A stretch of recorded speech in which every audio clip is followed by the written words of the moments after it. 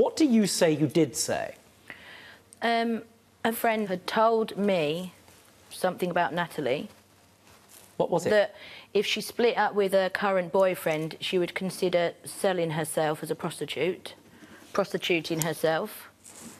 So not that she is an actual prostitute, but that she would consider it. Um, I've then, in a conversation, said it to Chantel.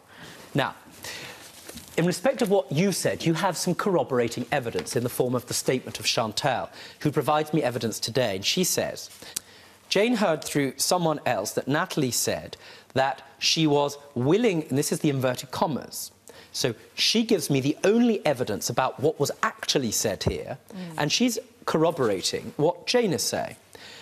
That she was willing to prostitute herself if she broke up with her boyfriend. Then Jane mentioned this to me.